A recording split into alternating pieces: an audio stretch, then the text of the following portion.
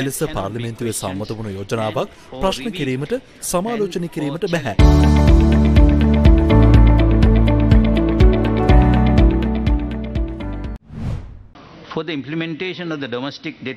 ස්වරී optimization තිරසරභාවය අරමුණු කරගත් දේශීය ණය ප්‍රශස්ත කරන වැඩසටහන පාර්ලිමේන්තුවේ සම්මතුනා කියන්නේ එයට ශ්‍රේෂ්ඨාධිකරණය හෝ ආණ්ඩුක්‍රම ව්‍යවස්ථාව එකසේ හැත්තෑට වන වගන්ති අනු ස්ථාපනය කර තිබෙන ඕනෑම අධිකරණයකට එහා ගිය එකක්.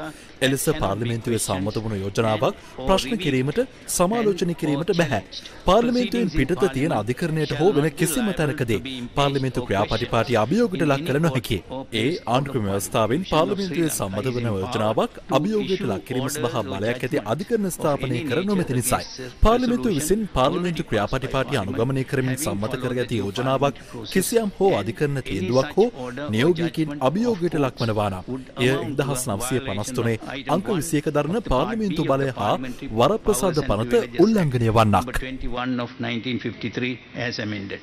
මේ ජාත්‍යන්තර මුල්ල අරමුදලට යන ගනුදෙනු එග්‍රීමන්ට් එක ඇත්ත වශයෙන්ම ඒ ගිවිසුම නිසා ඇතිවෙන ඵල විපාක ගැන ඇත්ත වශයෙන්ම පාර්ලිමේන්තුවේ එන්න අවශ්‍යතාවයක් තිබෙන්නේ නැහැ. එතකොට දැන් ආණ්ඩුවම මේක පාර්ලිමේන්තුවට ගෙනාවා. ඡන්දෙකුත් ගත්තා. දැන් දැන් කවුරු හරි මේකට අධිකරණයට ගිහිල්ලා තියෙනවනේ. No, sorry. නෑ නෑ පොඩ්ඩක් ඉන්න. කවුරු හරි අධිකරණයට ගිහිල්ලා තියෙනවා. Sorry, ඒකයි we මේ වර- proceed beyond that. අධිකරණයේ ක්‍රියාත්මක කිරීම. නවත්තන්න තමයි මේක ගේ- Thank you. Sri Lanka ඒකතුමනි ඔබතුමා විසින් දෙන තීරණයක් සම්බන්ධව එකට එකඟ නැත්තං අනුගමනය කර යුතු පැහැදිලිව ස්ථාවර නියෝගයේ තියෙන පිළිවෙතක්.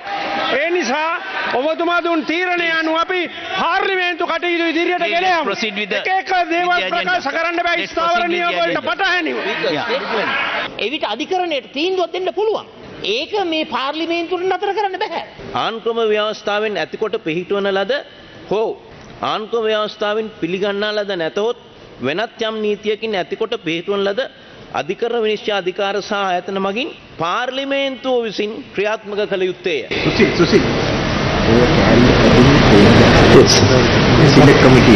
ඔව් එතකොට දැන් මේ එක්දා සම්සේ හැත්ත දෙකේ ජනරජානුක ව්‍යවස්ථාව මීටින් මෙතරින් එහාට ගිහිල්ලා තමයි පාර්ලිමේන්තුවට ඒ තිබුණ ජනතාවගේ අධිකරණමය බලය තිබුණේ.